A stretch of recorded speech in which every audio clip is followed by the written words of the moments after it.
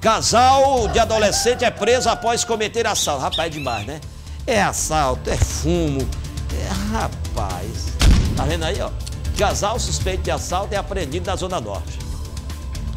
Ali no bairro Paulo de Tarso. Segundo a polícia militar, a dupla estava próximo ao acesso de uma ponte e teria acabado de cometer um crime é, de roubo de moto. A ação foi testemunhada por um policial que reconheceu a dupla e deu ordem de apreensão.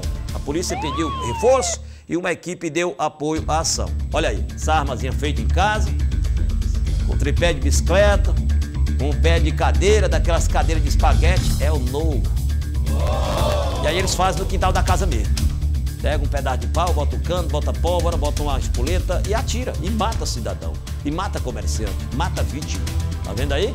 A PM ia passando e aí acabou apreendendo. Nós não podemos dizer que foi preso, é apreendido. Menor ninguém pode chamar de ladrão.